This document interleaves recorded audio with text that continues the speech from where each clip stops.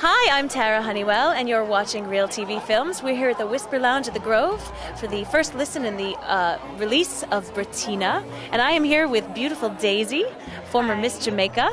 How are you, Daisi? I'm fine. How Good. are you? Very well, thanks. So, what brings you here? Um, a friend of mine invited me to listen to Britina, and I was like, of course I'd come. You know, I wanted to hear it and see what she's all about. Uh-huh. So it's pretty cool. Good. Now, uh, former Miss Jamaica, are you also a singer?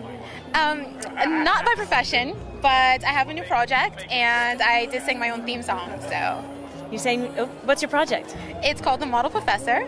Ah, and what's this? Where, where, where can we see it? Right now, it's uh, online. It's uh, we have web a lot of web content out there, and um, you can download our like uh, web content. Our one minute quick tips is what we call them, and our theme song. It's a ringtone. So Give us the website. Where can we find it? it's um, www.modelprofessor.com. All right.